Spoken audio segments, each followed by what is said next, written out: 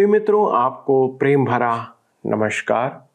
सत्यवचन कार्यक्रम के आज की श्रृंखला में मैं आप सबों का हार्दिक अभिनंदन भी करता हूँ। यह जीवन थोड़े दिनों का है, इसलिए इसे सावधानी से जीने की हमें आवश्यकता है दोस्तों। राजा दाऊद भजन संहिता उनचालीस के पाँचवें पद में इस सच्चाई को इस प्रकार से कहता है, देख तूने मेरे आयु बालिश भर की रखी है और मेरी अवस्था तेरी दृष्टि में कुछ है ही नहीं। सचमुच, सब मनुष्य कैसे ही स्थिर क्यों ना हो तो भी व्यर्थ ठहरे हैं। दोस्तों, किसने हमारी आयु को निर्धारित किया है? उसने जिसने हमें जीवन दिया है।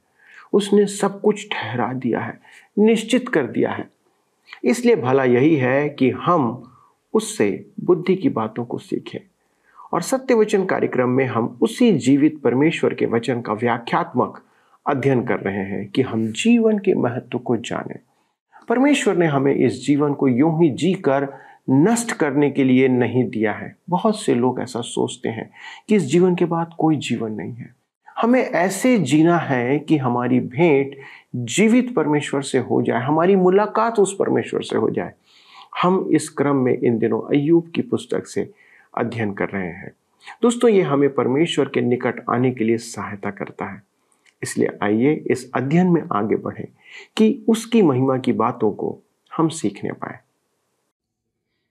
मेरे मित्रों, पिछले अध्ययन में हमने देखा कि अयुब की पुस्तक का मुख्य उद्देश्य है इस पुस्तक में दर्शाया गया है कि एक आत्मनिर्भर मनुष्य को मन फिराव की आवश्यकता है। यही इस पुस्तक की सर्वोच्च शिक्षा है। आज हम अपने अध्ययन में आगे बढ़ेंगे और अध्याय 27 से देखेंगे। अयुब की पुस्तक 27 अध्याय उसके एक से चार पद में लिखा है अयुब ने और भी अपनी गुड़ बात उठाई और कहा, मैं परमेश्वर के जीवन की शपथ खाता हूँ, जिसने मेरा न्याय बिगाड़ दिया। अर्थात उस सर्वशक्तिमान के जीवन की जिसने मेरा प्राण कड़वा कर दिया। क्योंकि अब तक मेरी सांस बराबर आती है और परमेश्वर का आत्मा मेरे नथनों में बना है। मैं यह कहता हूँ कि मेरे मुँह से कोई कुटिल बात न निकलेगी और न मैं कपट की बातें बोलूँगा। मेरे मित्रों, इस पद के अर्थ को स्पष्ट करने के लिए मैं दूसरे शब्दों में इसे कहता हूँ। परमेश्वर की शपथ जिसने मेरी निर्दोषता मिटा दी और सर्वशक्तिमान जिसने मेरा प्राण कड़वा किया। जब तक मेरी साँसें हैं और परमेश्वर का आत्मा मेरी सांसों में है, मेरे होठों से अधर्म की बात नहीं निकलेगी, न ही मेरी जीव छल की बात कहेगी। अयुब स्पष्ट करता है कि वह डिगा नहीं, वह दृढ़ है सोपर चुप है, इसलिए अयुब आगे कहता है। मैं तुम, मेरे मित्रों के लगाए आरोपों को स्वीकार नहीं करूँगा। इसलिए इसके विपरीत वह कहता है। अयुब की पुस्तक सताइस अध्याय उसके पाँच पद में लिखा है, ईश्वर न करे कि मैं तुम लोगों को सच्चा ठहराऊं। जब तक मेरा प्राण न छूटे, तब तक मैं अपनी खराई से ना हटूँगा। वह हठी है, नहीं क्या? उसके मित्रों ने उसे अधिकाधिक आत्मरक्षक बनाया।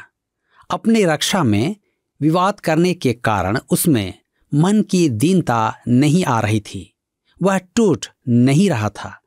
उसकी बातों से प्रतीत होता है कि परमेश्वर अधर्मी है और अयुब पूर्ण रूपेण निर्दोष है। वह कहता है, मैं अपनी खराई से ना हटूँगा। अयुब सताइस के छह में आगे लिखा है मैं अपना धर्म पकड़े हुए हूँ और उसको हाथ से जाने न दूँगा, क्योंकि मेरा मन जीवन के किसी दिन के लिए मुझे दोषी नहीं ठहराता। मित्रों, उसकी बातें सुने। उसके मित्रों ने उसे अपने न्याय की प्रेरणा देने की अपेक्षा अपने बचाव के लिए विवश किया। अयुब स्वयं को निर्दोष कह रहा है, देखिए, यहाँ परमेश्वर का नाम नहीं है। अयुब यह मूर्ख बन रहा है। अंत में हम देखेंगे कि अयुब परमेश्वर के समक्ष धूल और राख में है। इन सब बातों में हमारे लिए एक शिक्षा है। मैं स्वीकार करता हूँ कि अयुब के मित्रों की बातें सच थी। मेरा अपना विचार है कि उनके मन में अयुब के लिए भलाई थी, यद्यपि उनकी बातें सच थी। उनमें सच्चाई नहीं थी। उन्होंने अनुभव, प्रथाओं और विधि विधान की चर्चा अवश्य की, परंतु उन्होंने अयुब पर सत्य का प्रकाशन नहीं किया। उनकी इस भूल के परिणाम स्वरूप अयुब में स्वाभिमान जाग उठा। मेरे प्रियो, मैं फिर कहना चाहूँगा, क्योंकि यह अत्यधिक महत्वपूर्ण है। उन्होंने यह धारणा अपना ली थी कि अयुब में गुप्त पाप है और वे यथासंभव उसके पाप को उजागर करने के प्रयास में लगे रहे। अयुब ने कोई पाप न तो किया था और न ही वह छिपा रहा था। वह जानता था कि उसके मित्र भ्रम में हैं। अतः अयुब यही कहता रहा कि वह सही है, निर्दोष है। यही अयुब की भूल थी। उसके मित्रों का गलत होना सिद्ध नहीं करता कि वह सही है। अयुब को परमेश्वर की उपस्थिति में होना था, जहाँ मन की दीनता उत्पन्न होती। हमारे कष्टों का एक उद्देश्य यह भी है कि हम परमेश्वर के सामने दीन बनने के लिए टूटे। किसी ने कहा है कि कष्ट सूर्य के समान होते हैं। मोम पर धूप चमकती है तो वह पिघलता जाता है। वही धूप मिट्टी को कठोर बना देती है। कष्ट भी इसी प्रकार अलग अलग मनुष्यों पर अलग अलग प्रभाव डालते हैं। कुछ लोग मन के दीन बन जाते हैं। वे परमेश्वर के सामने पिघल जाते हैं। अयुब अभी उस स्थान पर नहीं पहुँचा था। वह अपनी सत्य निष्ठा के कारण कठोर था। मैं अपना धर्म पकड़े हुए हूँ और उसको हाथ से जाने न दूँगा, क्योंकि मेरा मन जीवन के किसी दिन के लिए मुझे दोषी नहीं ठहराता। आज अनेक कलिसियाई सदस्यों की यही दशा है। उद्धार का आश्वासन पाना बहुत अच्छा है, मेरे मित्रों। परंतु आप एक कठोर पापी हो सकते हैं, जो यह सोच रहा है कि उसे उद्धार का आश्वासन प्राप्त है, जबकि सच यह है कि आपके पास जो है वह आश्वासन नहीं, आपका अहंकार है।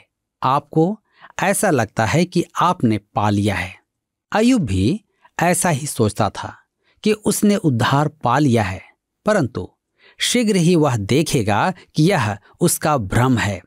तो आइए पढ़ें अयुब सताइस अध्याय उसके सताइस पद। लिखा है, मेरा शत्रु दुष्टों के समान और जो मेरे विरुद्ध उठता है, वह कुटिलों के तुल्य ठहरे। अयुब उन सबको विपक्ष में मान रहा था, जो उससे सहमत नहीं थे। वे उसके बैरी हो गए थे। वे दुष्ट एवं अधर्मी थे। मैं आपको बताना चाहता हूँ कि यह मनुष्य के लिए एक संकटकालीन स्थिति है। अब अयुब दुष्ट और उसकी नियति की चर्चा करेगा। अपने घोर कष्टों के मध्य भी वह दुष्टों के बारे में भाषण झाड़ने की क्षमता रखता है। आइए हम पढ़ें अयुब की पुस्तक 27 अध्याय आठ से 11 पद। लिखा है, जब परमेश्वर भक्तिहीन मनुष्य का प्राण ले ले, तब यद्यपि उसने धन भी प्राप्त किया हो तो भी उसकी क्या आशा रहेगी? जब वह संकट में पड़े, तब क्या परमेश्वर उसकी दुहाई सुनेगा?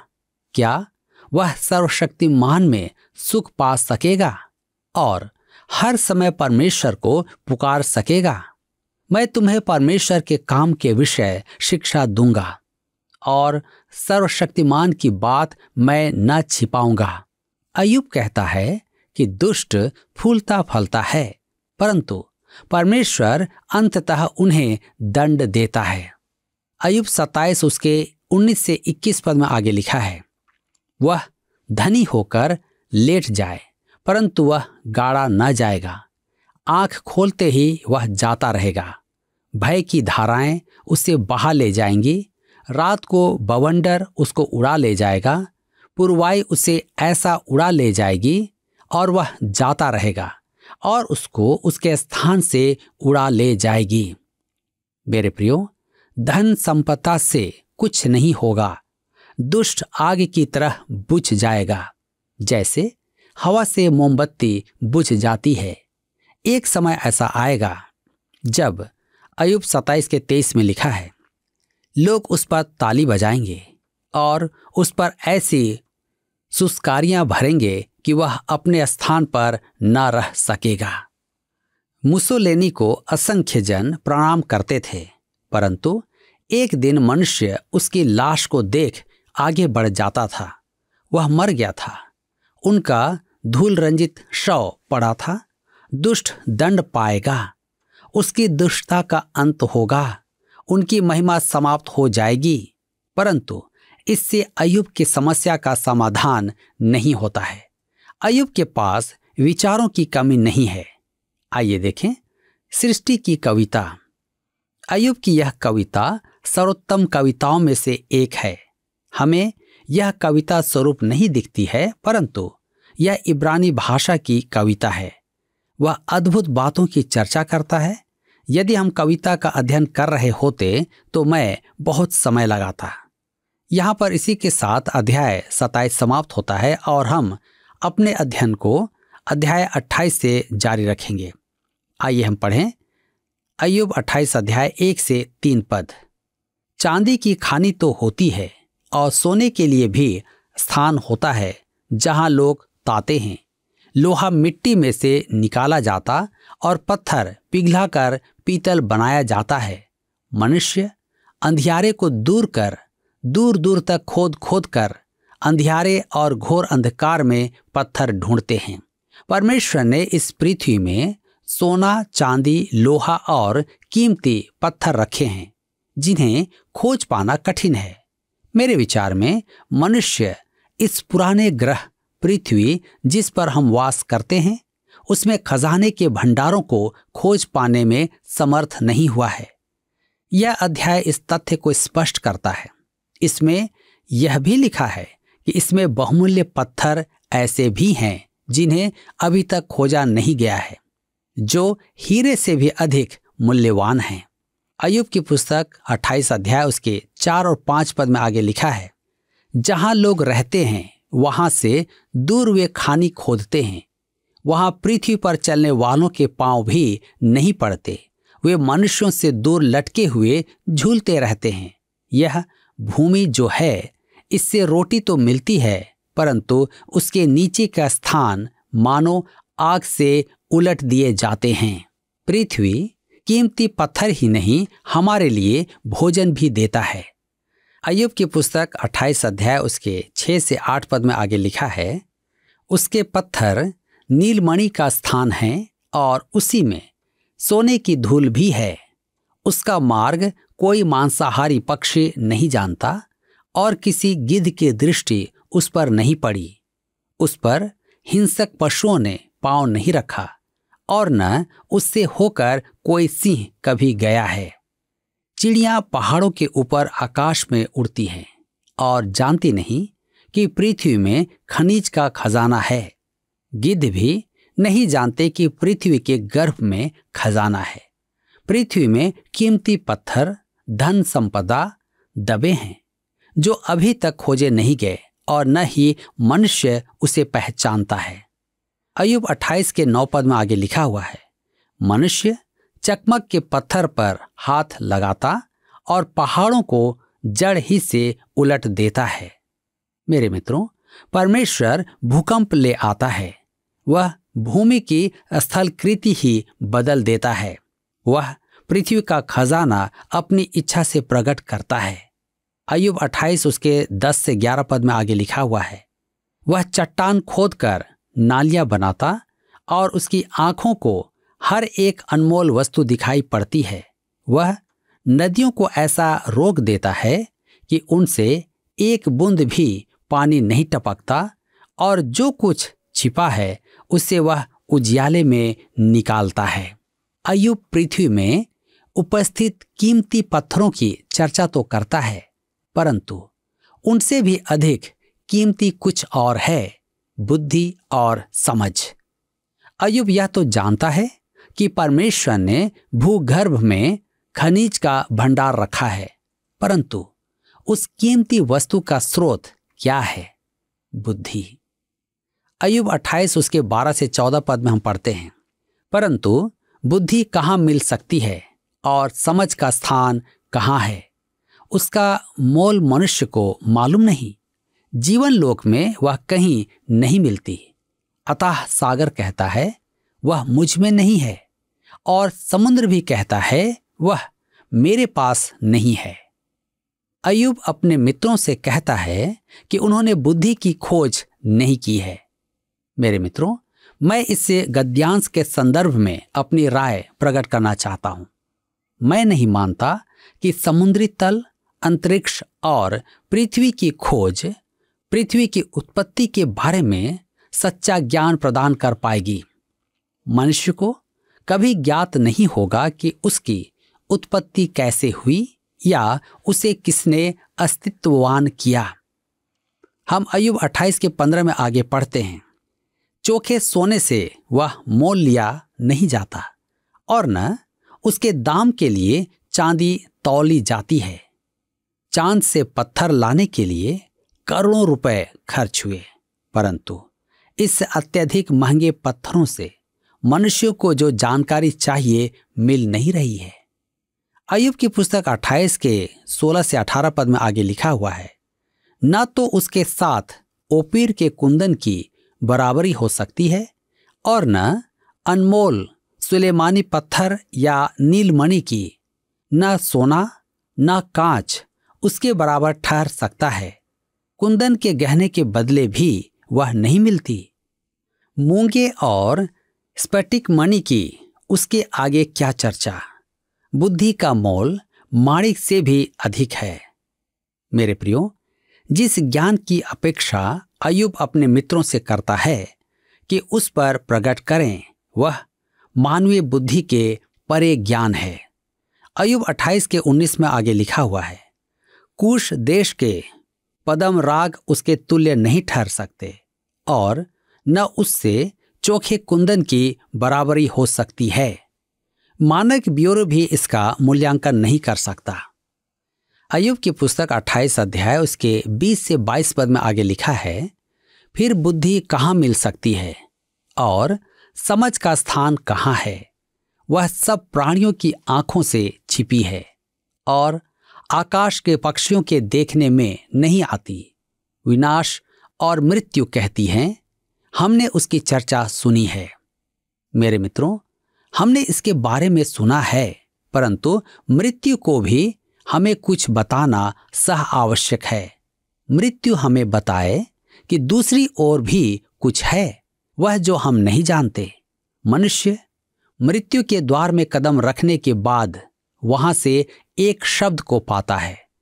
एक महान जादूगर हॉडी ने ने अपनी पत्नी को एक कोड दिया था। इस कोड के द्वारा वह उसकी आत्मा से संपर्क कर सकती थी। उसके मरणोपरांत अनेक जादूगर उसकी पत्नी के पास आए और कहने लगे कि उनके पास हॉडीने का संदेश है। श्रीमती हॉडी ने उनसे कोड पूछती तो वे निरुत्तर हो जाते। दूसरे शब्दों में, हॉडिने की मृत्यु के बाद उसने किसी से बात नहीं की। हम उस संसार से संदेश प्राप्त नहीं कर सकते। इससे स्पष्ट होता है कि कुछ ऐसी भी बातें हैं जिन्हें हम नहीं जानते। वह बड़ी रोचक बात करता है। अयुब की पुस्तक 28 के 26 में लिखा है, और मेह के लिए विधि और गर्जन और बिजली के लिए मार्ग ठहराया।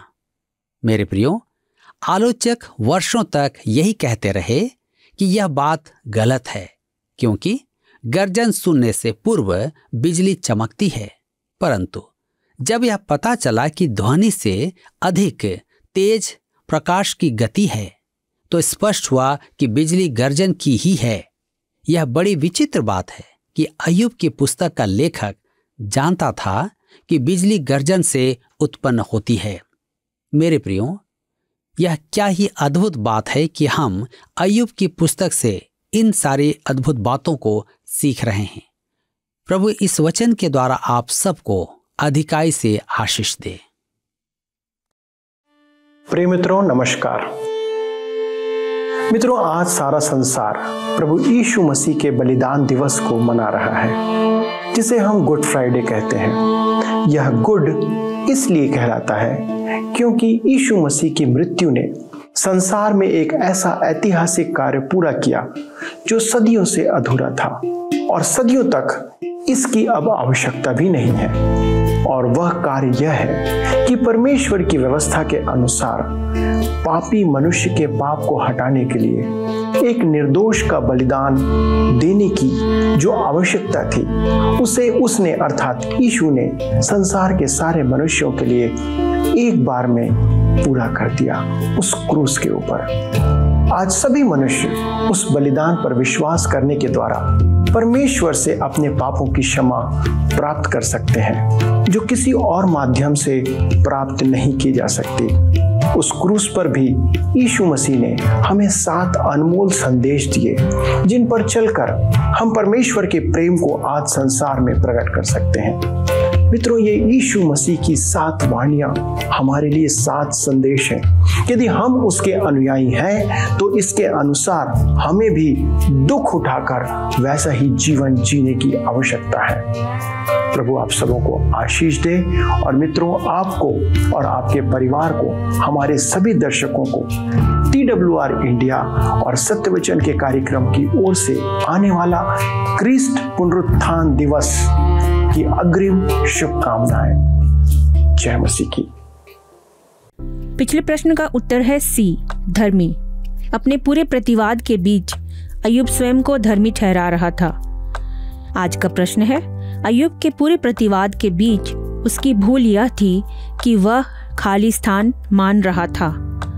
ए, स्वयं को निर्दोष, बी, स्वयं को पापी, सी, स्वयं को श्रेष्ठ, डी, स्वयं को उत्तम। मित्रों, इस प्रश्न का उत्तर हमें कल सुबह छह बजे से पहले विकल्प ए, बी, सी या डी के साथ, अपना नाम, पता, स्थान के साथ, nine six five one four three three three nine seven पर एसएमएस या व्हाट्सएप करें।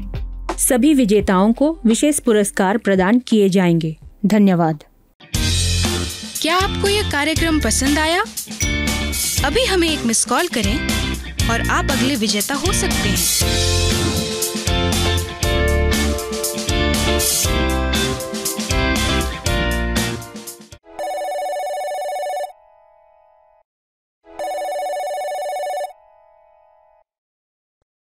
प्रिय मित्रों, आपने देखा कि अब तक हम अयुब को देख रहे हैं कि वह अपने मित्रों का सामना कर रहा है। उनकी बातों को वो रोकने का काम कर रहा है। वे उसको समझाने का प्रयास कर रहे थे कि जो विपत्ति उस पर आ पड़ी है, वह किसी गुप्त पाप का प्रतिफल है, जिसके बारे में वह जानता था कि यह सही नहीं है। अब क्योंकि उसके मित्र गलत थे अयूब सोचता है कि इस कारण अयूब या स्वयं सही व्यक्ति है। दोस्तों, ये सोच पर अयूब गलत था। अयूब ये नहीं सोच सकता कि यदि उसके मित्र गलत हैं, इसका मतलब वो सही है। उसके मित्र गलत थे, ये सच्चाई अयूब को सही नहीं ठहरा सकती। अयूब को परमेश्वर के चरणों में टूटे हृदय के साथ आने की आवश्यकता थी। हमारे जीवन की विपत्तियों का एक कारण यह भी है कि हमें परमेश्वर के सन्मुख टूटे हुए हृदय के साथ आने की आवश्यकता है, दोस्तों। तब वो हमें ग्रहण करेगा। हमने देखा कि अयूब की पुस्तक के लिखे जाने का कारण ये नहीं है कि क्यों विश्वासी जन संकट में पड़ते हैं। दुख उठाना इस पुस्तक का मूल उद्देश्य नहीं है, ध्यान से सुनिए। परंतु इसके पीछे यह शिक्षा है कि परमेश्वर के लोग पश्चाताप करें, मन फिराएँ, टूटे हुए हृदय से परमेश्वर के पास आए। जब हम परमेश्वर को जानेंगे तो उसके सामने झुकेंगे। तो वह हमें संकट से बाहर निकालेगा, समस्याओं से दूर ले जाएगा। समस्या यह है कि हम उसके सामने झुकते नहीं हैं, टूटते नहीं हैं, इसलिए हम पर वो आशीष नहीं पहुँचती। परंतु हम प्रश्न करते रहते हैं और अपने को ही सही ठहराने का प्रयास करते हैं कि हम सही हैं, हम सही रास्ते पर चल रहे हैं। दोस्तों, आवश्यक है कि आज टूट कर बिखर कर आप परमेश्वर के सामने आइए। आइए, उसके सामने झुके और अपने जीवन में उसे कार्य करने दें। आइए प्रार्थना करें। हमारे स्वर्गीय पिता परमेश्वर, प्रभु, ये मानव जीवन की एक बड़ी त्रासदी है। विडंबना है प्रभु कि हम सदा अपने आप को सही समझते हैं। पिता परमेश्वर, आज हम टूटे हृदय से आपके सन्मुख आते हैं। हो सकता है पिता कि हमारे जीवन में अनेक ऐसी बातें हैं जिसने हमारे अंदर घमंड को उत्पन्न कर दिया है, जो बताता है कि हम बेहतर हैं। लेकिन प्रभु, आज हमने जाना कि हमें सब कुछ समर्पित करना है आपके चरणों पर।